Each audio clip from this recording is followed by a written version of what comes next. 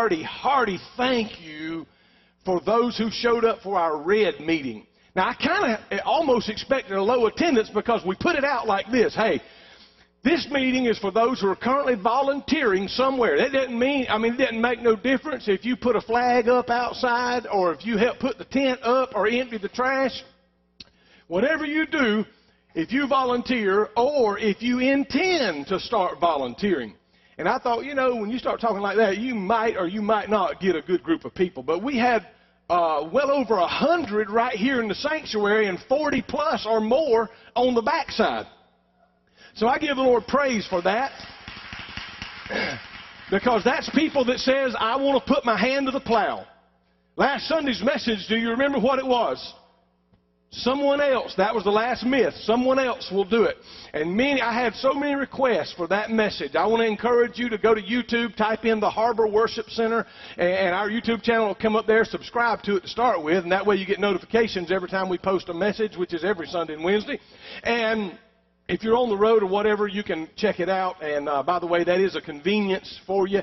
Uh, it's not an excuse to stay home, but it's um, it sure does. Uh, uh, meet the need when you have to be away, and I'm so grateful for it. Today is a, a different message, and we call it a standalone. It's um, we're uh, we're not in the midst of a series and, and not promoting a series right now, but let me just say to you, we've got some powerful things coming up um, in the month of December. I'm really, really looking forward to it, and I just believe with all my heart we're going to break some records in December. I am privy to an uh, to an awesome kids drama that we've been working on now, I imagine about two months, and probably got the earliest start ever uh, for the kids crew, and we're going to have a an awesome time on the 20th. And, and but prior to that, we got some things going down for the adults as well. That's going to happen right here on this stage. It's just going to be incredible. So I'm excited about the month of December. And I'm excited about what God is going to do. And of course, Thanksgiving being this Thursday, I'm looking forward to it as well. I'm looking forward to my grandson Nolan coming. How many of y'all will agree with me? He'll come tomorrow on my birthday. Amen. I'm believing that. So uh, he's due on Thanksgiving, but uh, I was born on Thanksgiving, so that could work. But Jordan don't want that. Uh, so let's let's get him here tomorrow. What a tremendous birthday present that would be. Amen. Anyway, let me talk with you today about the thought thankful Christians. Um, here's what we absolutely need to know. I want you, and this sounds so simplistic. You would say, now, Pastor, you didn't have to tell me that. I know that. Everybody knows that. But here it is. You've got to understand, in order to be a thankful Christian, you've got to understand that God is faithful. God is faithful, so we ought to be thankful. I didn't know what Tara was going to talk about as she uh, began to talk about the book Proving God this morning by Al Taylor, which I read a number 20 plus years ago. And I had forgotten about the cotton farmers, but there again we see a faithful God, so we ought to be a thankful people. Amen. I am thankful personally for a God that always works it out. No matter how bad it looks, Sean, I have seen times when I looked in that mirror too and said, man, I am wrecked if God don't show up. I am thankful for a God that when I've done something stupid, and like Macaulay Culkin said in Home Alone, and sometimes, ma'am, I do get into mischief. Y'all remember that? I know I'm dating myself a little bit here, but nonetheless, the Christmas season will be right here on us. And sometimes we do get ourselves in fixes, and most of the time, it's our own doing. And yet, God loves us enough if we will re- confess it and repent and ask Him to forgive us. He'll say, All right, look into the mirror of my word and see if you can do better. Amen. So I'm thankful for a God that works it out even when I've messed it up. Hello? Amen. I've, I've, I've asked God way back over the years to help me with some things, and I'd keep messing it up. How many of you ever got your bills all where you needed them to be? Because you, you're the one messed them up to start with, and you ask God, oh God, if you'll help me, I'm going to get this thing right, and I'm going to be faithful to you. And I'm going to tie. Next thing you know, you got 14 credit cards and they're all at the top. Are you with me? Oh, help me work out this mess. And he said, I didn't start that mess. But he'll help you if you'll be faithful. He'll take what little you got and he'll help you again. Listen, things don't always look like they're going to work out, but here's what the promise of the Lord is. The steps of a righteous man are ordered of the Lord. Let me help you out. Some of y'all didn't catch that one, so here I'm gonna go. I'm gonna go again. In all of thy ways, acknowledge Him, and He shall direct thy paths. You say, Pastor, you made that up. No, one of them was in Psalms 37 and 23. The latter was in Proverbs 3 and 6. And then He tells us in the New Testament for some of those that have to have that. Romans 8 says, and we know that all things work together for the good of them that love God and look, catch this. Everybody wants to stop right there and say, well, all things work together everybody loves God and half the world loves God, they say. Now, they can't tell you which one they love. But I'm going to tell you what Bible says. The Bible says there is none but Him. There is only one. Amen. There are three that bear record in heaven, and these three are one the Father, the Word, and the Spirit. Amen. Amen. Give Him praise. But he says, We know all things work together for the good of them that love God. Here we go. And are the called according to his purpose. So what I'm saying is this, is when we are doing our dead level best, we are acknowledging God. We are faithful to God. He says our steps are ordered. I'm going to tell you, I've done some boneheaded things in my life. And I look back over my life and I see where I've done something so stupid and God reached down and said, I'm going to be merciful. And I'm going to pull you right back over here. I, I know you blundered right there and you really messed it up like a knucklehead. You got out of line, but I'm going to pull you back onto the path. Are you, I don't know about you, but I'm thankful for a faithful God that said, I'll never leave you nor forsake you, but go with you all the way, even unto the end. Friends that put their arms around me, that hugged my neck and said, I'll stay with you no matter what, are gone. I'm looking right into the camera. They're gone. And they've been gone a long time. But He has never left me. And he has never forsaken me. Amen. People that said they'd be there are not, but he has. I want to tell you something. God is faithful to me. Let me tell you a little story. This is, my personal life. I come down here um, 20 years ago in August. I lived in the old parsonage there for two and a half years. And then I had this idea that I've got to get uh, I, in my mind. I said, I got to get my wife out of here. We got to get into a better situation, and, and my kids and whatever. It's small, it's cramped, it's uh, it's damp and musty and all those things. But yet I was thankful to God. I lived there two and a half years. I said, Lord, please help me. And you know, and it was really rough, and the church wasn't strong enough, you know, hardly to do a housing allotment. So I, I, I did get a housing allotment of three hundred dollars, and I took on rent of 750. Y'all with me? Say amen. Y'all, y'all been there? And that's bad if you hard if it's hard times already and you ain't paying seven fifty. See, none, I'm gonna talk to myself because ain't none of y'all listening now. Ain't none of y'all been there. But nonetheless, I, I went on this way, and I had an opportunity to buy a house, and, and it was out on Ridge Road, and I made a deal and signed the contract that I'd option to buy it within a year, and the year went by, and I had my financing just about right, and it didn't pan out, and I needed about 30 more days and I had a verbal agreement with this individual, and somebody offered him two or three thousand dollars more than he sold, said he'd sell me the house for. So he says, "Well, I'm going to sell the house." I said, "Well, that wasn't our agreement." Well, it is what it is, and, and you know. So nonetheless, I'm going to show you how God works it out. I'm telling you, the wind was knocked out of my sail. I felt like a failure as a husband, that I wasn't quite providing like I needed to provide for my family, my wife, etc., etc. And listen to me, I'd already left a three bedroom brick home back in Valdosta before I went to Claxton for five years for the ministry's sake. Seven months old to leave it and say goodbye, to go live in a shack. And lived in that to 18 months until God provided a nice brand new double wide trailer, 1,700 square feet, brand. We laid it all out, and so I come here. I said, Lord, I'm taking another step backwards here. But God, every time I took a step backwards, God catapulted me forwards. Are you hearing me? I had a lady in the church that bought me a mailbox thinking that I was going to buy the house just like I thought and everybody else thought out on Ridge. And she took this mailbox and painted something beautiful on it, had my last name on it, and had 242. That was the address. And on both sides, it was real pretty. And then the deal went south. I mean, it went bust. And I said, well, there it is, you know. And I prayed and I believed God and I thought it was God's will. And lo and behold, now it's gone. Within the month, I had a lady told me, said, I'll sell you my house.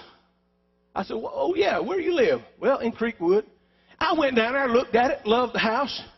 It appraised for eighty-five, eighty-seven thousand dollars or so. She said, "I'll sell it to you for seventy-five thousand dollars." Oh, really? Yeah. My wife liked it. She liked it. Oh, well, praise God, seventy-five thousand dollars. Y'all know what the address was? Two forty-two Creekwood Drive. Now you tell me, I'm not a mathematician, Dr. Strong, but y'all help me out. Something with three digits, 242. I don't know what the possibilities to be, but there's a whole lot of them that the chances that it would fall on the exact same address number. Only my God. I'm a thankful Christian because I serve a faithful God. God says, I'll work it out somehow. Well, I wish I had time to explore that a little bit, but I better go on. He's a faithful God. Let me say this. He was faithful to Abraham. When he told him to sacrifice his son Isaac, he provided a ram in the thicket. He was faithful to Joseph, who was separated from his family for 20 years, and he spent all that time in the pit and in the, in the prison. God eventually put him in the palace. And then I think about Israel, who was for 430 years uh, in slavery down in Egypt, but God was faithful. And, the Bible says that He heard the cry of the people. And guess what? Amram and Jochebed conceived a baby. He, he was a boy, Hebrew boy, and they named him Moses. His name means drawn out. He would be pulled out of the Nile River by the Pharaoh's daughter. Are y'all with me? Say amen. Because Pharaoh had commanded that all Hebrew boys be thrown into the river for execution to kill them them. But God had other plans. God had other plans for Israel. So let me say this to you, friends. When you think you've got it bad, God still got his hand in the situation. I think about Paul, who spent a third of his life in prison, and it seemed bad for him, but you know what he did? He wrote a third of the Bible. Amen. I think about the prophet's widow who was about to lose her son because her husband owed some money. And, and, Elisha told them what to do. And God turned it around and they lived the rest of their days on the money from the oil that they sold. I think about Noah who found grace in the eyes of the Lord when God was going to kill every living creature or mankind, that is. I think about Lot that God says to Abraham, I'm going down to Sodom and Gomorrah and see if it's as evil as has been reported to me and I'm going to rain fire and burning sulfur and brimstone upon them. And guess what? God spared uh, Abraham's nephew Lot. So why is it that you need to understand that God is faithful? Therefore, we ought to be thankful. Listen, when you know in your mind that God is faithful, it'll give you the courage to be thankful when things look bleak. When you know that God is faithful, It'll give you the courage to be thankful. Look at your neighbor and say, when you know that God is faithful. It'll give you the courage to be thankful. I'll bet you that some of you could look back over your life and remember a time when God worked something out in your life when you didn't know what you was going to do. I bet you there's been a time where you just thought, man, I am in deep water right here. I bet there's been times when you had to lean on Him, when you could not see clearly, and, uh, and you just had to keep pressing on. You know what that's called? Living by faith. It's called walking with your hand in His hand. Without a doubt, there's been times when you thought if God don't show up, I am in trouble. See, trusting God when things go bad, trusting God when the bank says no, trusting God when your friends walk out, trusting Him to know that He said, I'll never leave you nor forsake you, but go with you all the way to the end. Well, let me give you an example. I think of a fellow by the name of Job. I wish I had time to tell you. But Job was the richest man in all of the East. He had all these things worked out. God had blessed him. He was a rich man. He had affluence. He had luxury. He had ten children. He had all kinds of things. And all of a sudden, in a moment, I mean in a day's time, it all went away and it was gone. He, in fact, his body was stricken with, you know, after that, after he lost all of his wealth, his cattle, his, all that, his body was stricken with boils, and he sat in uh, sackcloth and ash, and he scraped himself with a piece of pottery. And, uh, you know, his wife said, why don't you just go ahead and curse God and then die? In other words, she believed if he cursed God, that God would kill him. And he responds to her and says, Shall we take the good things from the hand of God and not the bad? Huh? Don't y'all know that it rains on the just and the unjust? Huh? Don't you know when it rains we all get wet? Sinner and saint alike. Don't you know when the storms come, they come to all of us? And looked at his wife and said, Though he slay me, yet will I trust him. In other words, I've got such a relationship with Him, if it's over in this life and I move on, I'll see Him on the other side. For He knows the way that I have taken, and when He hath tried me, I shall come forth as pure gold. And at that last day, even though the skin worms devour this flesh, yet in my, uh, this body, yet in my flesh, shall I see God not another. He was convinced that this is temporary that, that, that I'm going one day to the place that He's prepared for me. Man, so when you know that He's faithful, it'll give you the courage to be thankful. Now, here's what I want you to do. I gave you an illustration from my life. I gave you an illustration from Job's life. Here's what I want you to do. I want you to trust Him in the darkest hour of your soul. Y'all hear how quiet it is? You know why? It's easy to say, Pastor, God's got that financial miracle working out in your favor. Don't worry about it. Huh? It's easy when someone else says, your kid's going to be all right, they're going to be healed and filled and all that's good. Don't worry about it. When you're standing on the top of the bungee tower and they say, just go, man, the rope's got you, it's all right. Long as we're down on the ground and it's somebody else up there. I got plenty of faith for you, bro. It's good, man. Parachute's going to open.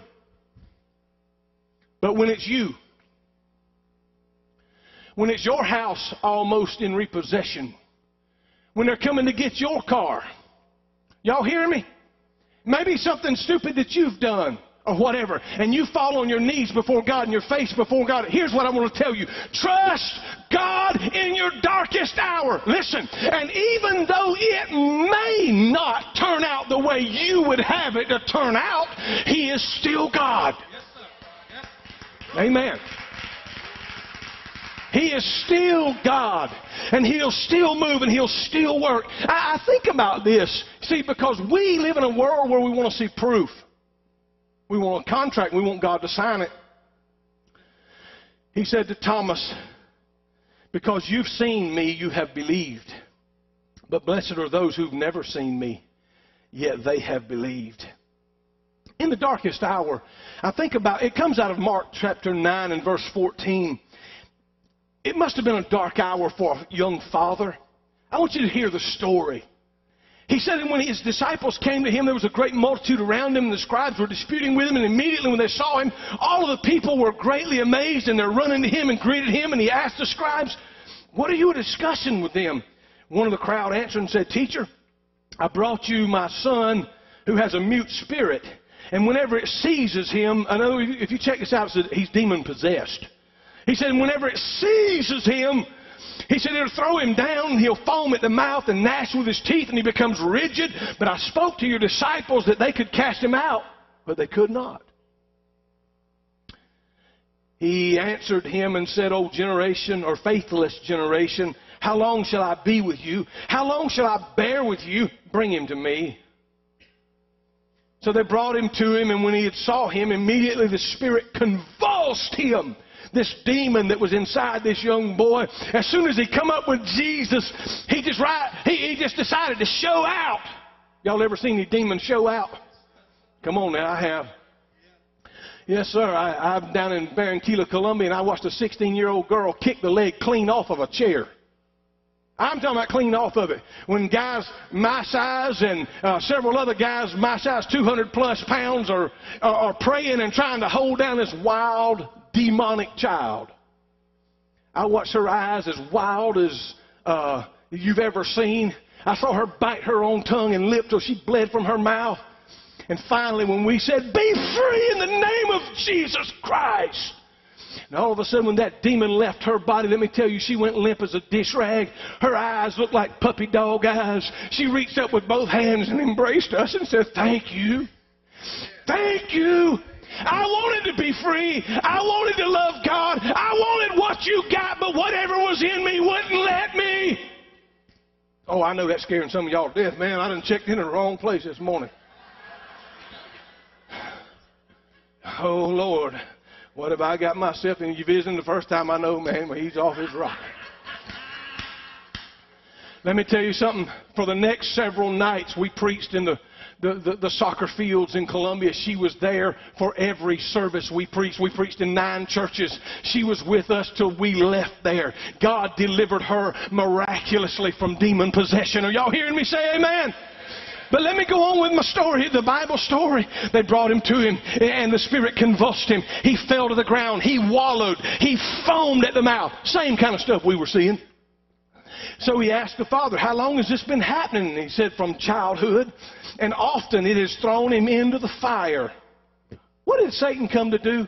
To steal, to kill, and to destroy. He said, This spirit has often thrown him into the fire. And, um, he said, uh, and into the water to destroy him. But if you can do anything, have compassion on us and help us. And Jesus said, watch this, these words right here, and I want to leave these words, man, you got to get these words right here. He says, if you believe, if you can believe, look at your neighbor and say, if you can believe, all things are possible to him who believes. Now, let me just say, well, give him praise. Let's just say it's your child or grandchild. And all of a sudden, a spirit convulses him, and we're out roasting marshmallows and s'mores, and this spirit tosses him over into the fire, and we're reaching and grabbing him and trying to pull him out. And the kid wants to get out, but some, you see, here's the difference in being depressed, oppressed, Y'all, let me say, when you're oppressed of the devil, it's like, like if this is you and the devil comes up and he buffets you. He buffets you. He, he, he, he, he starts pushing you around. That's being oppressed of the devil. To be possessed of the devil, let me show you. If I had a glove right here, that glove represents mankind, you, me. To be possessed of the devil is when Satan literally inserts himself into us and manipulates our body, our hands, when we do his bidding. And that's what had happened. And this boy would run into the lake. The Spirit. Let me give you, I know some of y'all want proof. Thank you, Holy Ghost. When Jesus cast a demon out of one called Legion, you know what he did? He, he allowed the demons to go into the hogs, into the swine. What did they do? They ran downhill and drowned in the lake, in the sea. Why? The devil has come to kill and steal and destroy.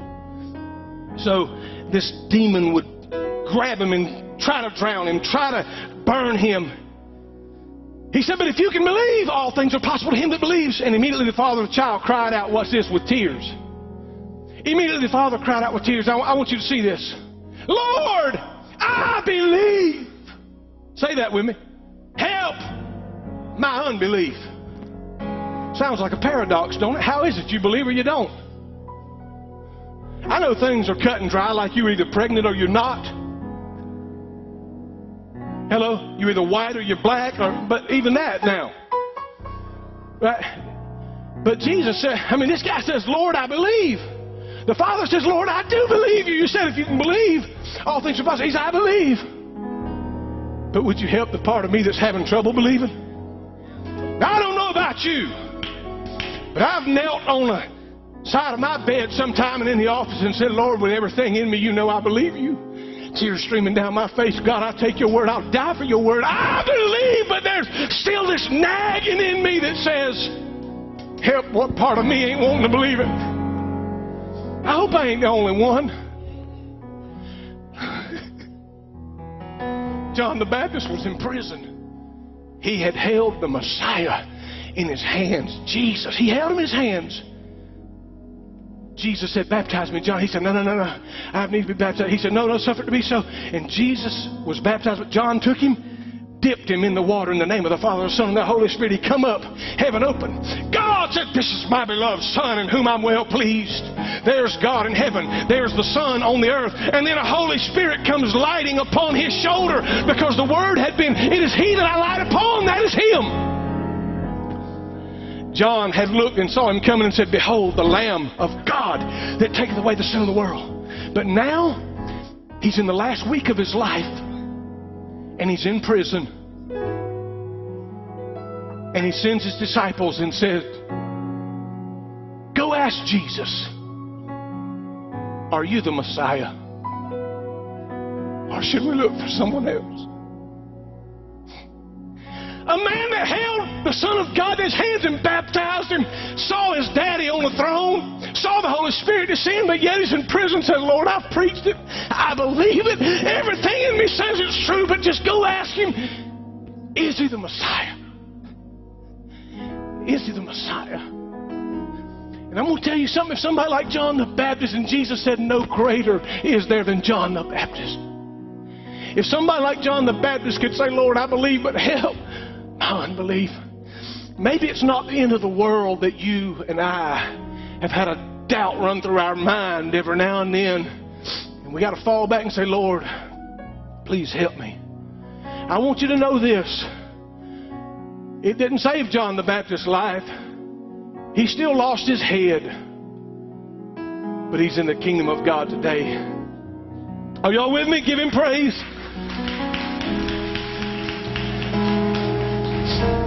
We have to trust Him. I'm going to tell you.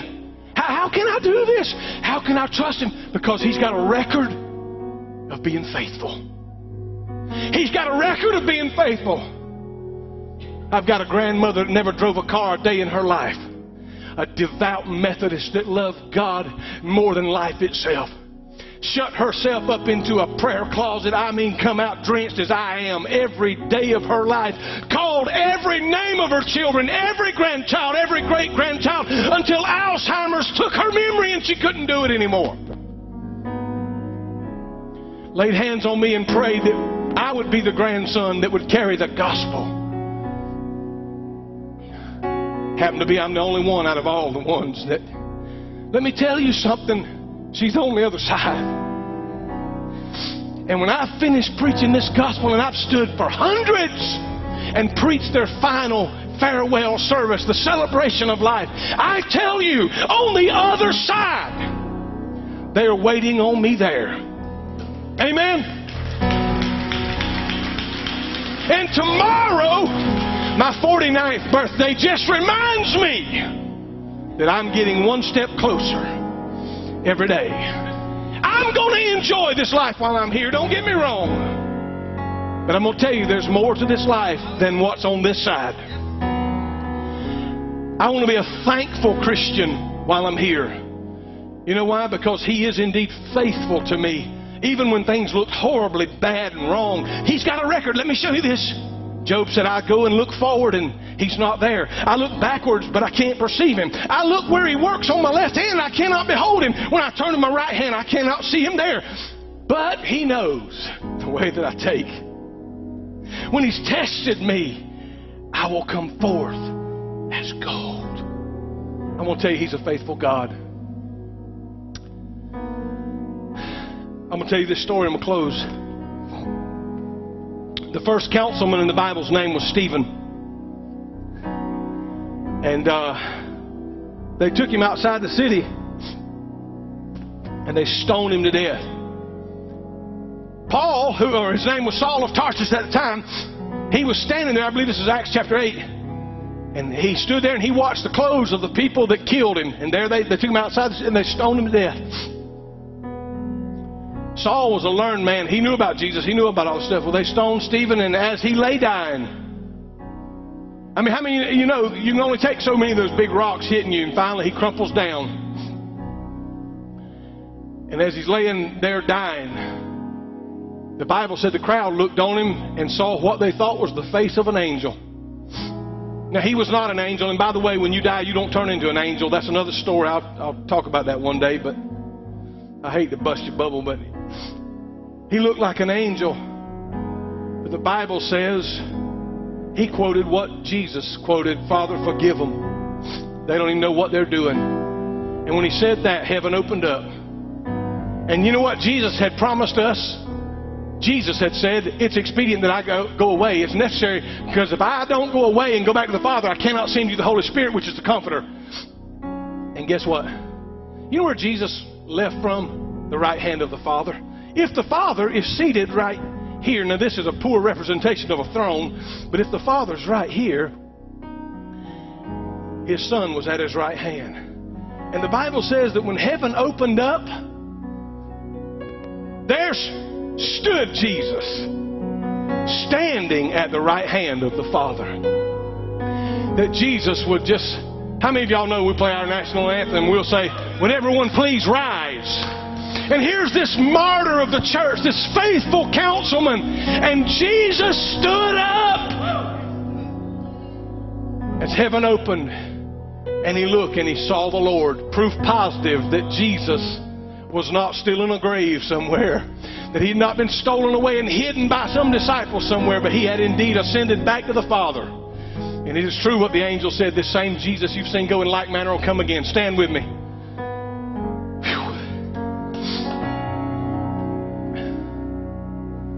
Ushers, I'm going to ask you if you'll get ready to uh, serve the people in just a moment.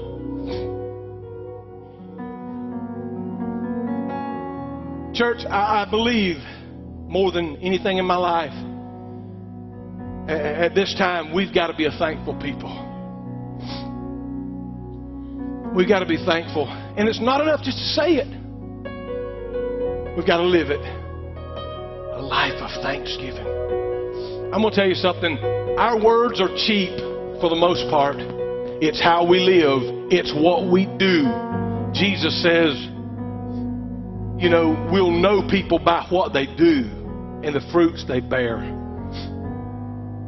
I am thankful. He is indeed faithful. Not one thing He has said to us in this book is going to fall, but every bit of it is going to come to pass. Just as He said. Can we pray together? Father, we just come to you now. So thankful. So thankful, Lord, for what you've done. So thankful, Lord, for your touch and your mercy.